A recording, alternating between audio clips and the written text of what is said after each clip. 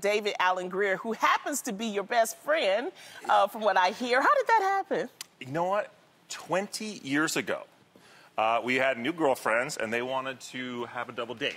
Nice. Neither one of us was thrilled. Okay. Um, I was like, I gotta go to In Living Color's house, and he's gonna make us dinner. Oh, and the best was he's sitting there going, "Let me get this straight. Her boyfriend is an ex-model whose band just broke up, and he wants to act." Okay. Oh, okay. The longest Yes. night of his life. Six hours later, girls have gone to bed. He and I are running around his house like a couple of lunatics, smoking cigars, drinking wine. And I, I will say this, though. You- We've gotten a lot of trouble. We've had a lot of fun. But um, this business and this town is rough. Yes. And he has been like my older brother and mentor. He's been through it all. Yeah.